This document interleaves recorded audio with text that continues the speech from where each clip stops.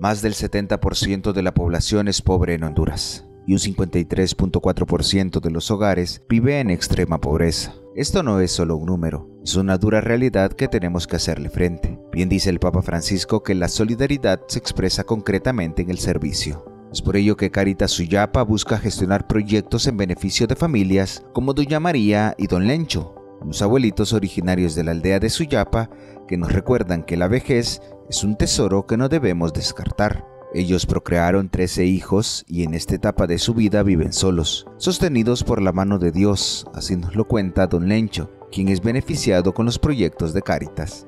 Confiando en Dios, es el único poderoso que tenemos.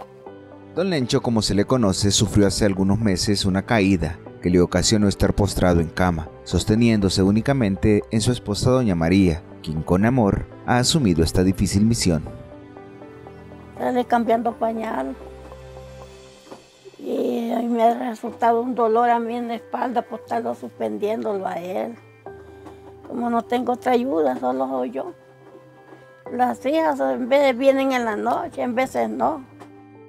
Esta misma situación de dificultad vive doña María Cecilia Palada Colindres, una de las descendientes de la familia Colindres que custodió a la Virgen de Suyapa.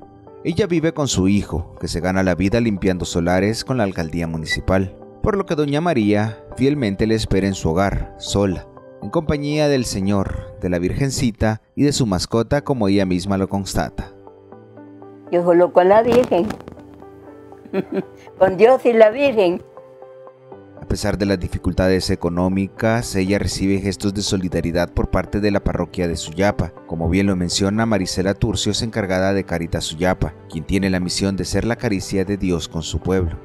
Ser el brazo social de la iglesia, ser los que nos manifestamos, los que nos expresamos con la población, que a veces no es atendida por nadie y que es utilizada como un descarte a lo que nos llama el Papa Francisco, atender las periferias Felipa Soto Rodríguez es otra carismática abuelita que forma parte de los proyectos sociales de Cáritas. Ella agradece al Señor la solidaridad que muestran con ella y su familia e invita a todos a unirse a esta causa de amor.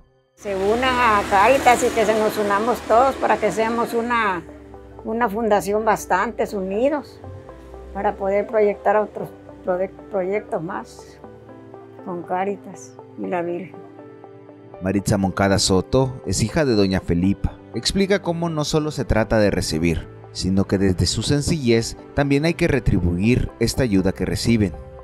Colabora en lo que yo puedo, yo cuando la abogada me necesita para algo, yo nunca le digo que no, y ahí estoy presente para cualquier ayuda. Servir significa cuidar a quienes son frágiles en nuestras familias, en nuestra sociedad y en nuestro pueblo. Nos recuerda constantemente el Papa. Desde Suyapa Medios y Notifides le invitamos a que juntos fomentemos una cultura de paz con imágenes de Brian Casanova, les informó Eddie Romero.